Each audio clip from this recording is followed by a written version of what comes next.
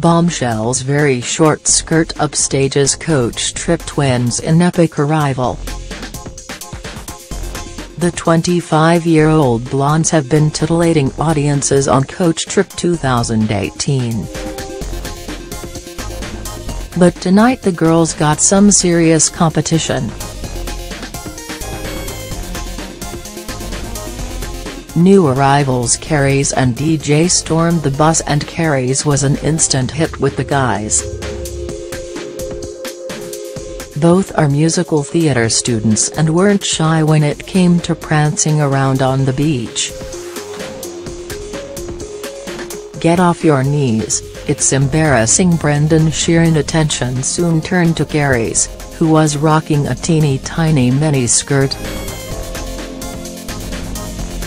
The gorgeous brunette was branded easy on the eye by Sean and Troy, while Jodie who was later kicked off of the bus with her partner Jimmy said Karis was stunning. As an introduction into group activities, the pair did a pottery class and went to visit an alpaca farm.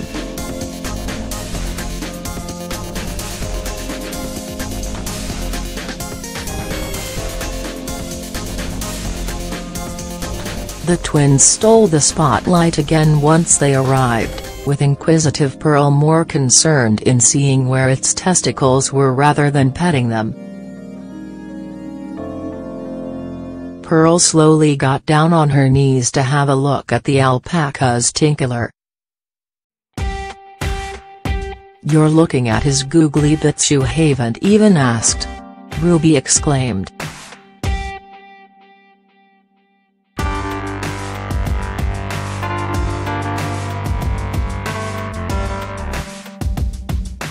But Coach Trip tour guide Brendan Sheerin warned, get off your knees, it's embarrassing.